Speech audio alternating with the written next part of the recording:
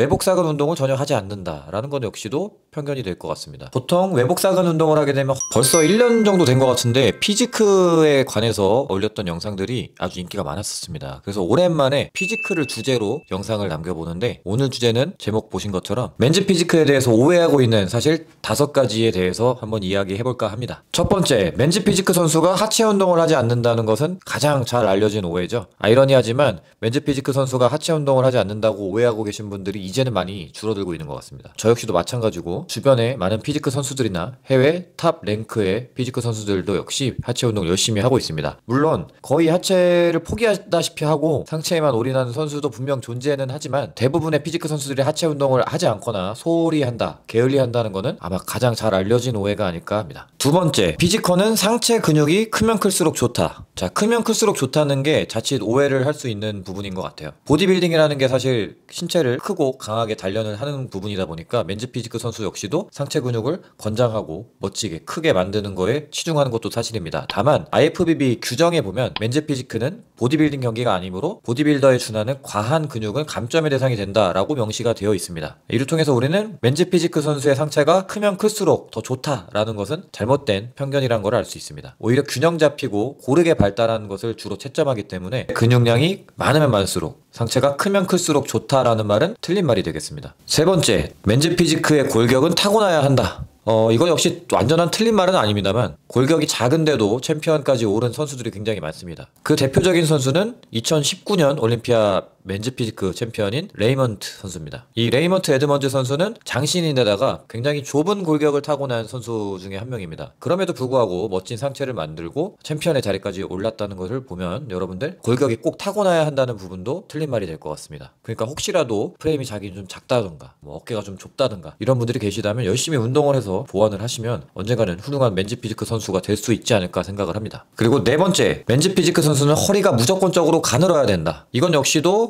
반은 맞고 반은 틀린 사실 같습니다. 프레임이 넓고 허리가 가는 게 당연히 유리하겠지만 우리가 흔히 알고 있는 V taper, 이 역삼각형으로 상징될 수 있는 그 모양보다도 오히려 요새 트렌드는 조금 더 U자 모양으로 둥글게 그리고 직선이 아니라 곡선으로 빠진 넓은 코브라 같은 광배근을 더 강조하는 추세인 것 같더라고요. 물론 이런 부분은 좀 타고나야 되는 부분도 분명히 있는 건 사실입니다만 허리가 무조건적으로 더 가늘다고 해서 더 좋은 평가를 받는 것은 결코 아닙니다. 일례로 한때 men's physique 미스터 올림피아를 4연패를 하면서 황제로 군림했던 제레미 부엔디아 선수 같은 경우는 길고 가는 허리가 특징이었는데 지금은 많이 기량이 좀 떨어졌다는 평가를 받기도 합니다. 지금 아마 복귀를 해서 대회를 뛴다고 해서 예전 같은 평가를 받을지는 아직 미지수니까 더 좋은 평가를 받기란 어려울 수도 있다는 것을 다시 한번 말씀드리고 싶습니다. 그리고 다섯 번째, 아까 말씀드린 가는 허리와도 연관이 있을 것 같은데요. 외복사근 운동을 전혀 하지 않는다라는 건 역시도 편견이 될 것 같습니다. 보통 외복사근 운동을 하게 되면 허리가 두꺼워진다고 알려져 있습니다. 사실 여부를 차치하고 men's physique 선수 가운데 외복사근 운동을 많이 하는 선수가 있냐라고 묻는다면 있다라고 대답을 할 수 있을 것 같습니다. 대표적인 게 어, 인기 많은 men's physique 선수 중에 한 명이죠. 오늘 추천해드릴 제품은 맛있닭에서 나온 소프트 안심입니다. 퍽퍽한 닭가슴살 대신에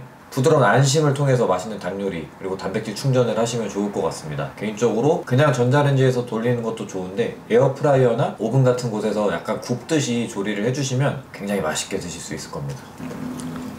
음, 거의 시- 치킨인데? 진심. 맛있다. 근데 진짜 맛있어. 가끔 드는 생각이 이렇게 맛있는 거 먹어도 되나? 왜냐면 다이어트 하면 약간 좀 맛없고 뭔가 되게 오래 못 먹을 것 같고 이런 걸 먹어야지 좀 잘 빠진다는 생각이 들잖아요.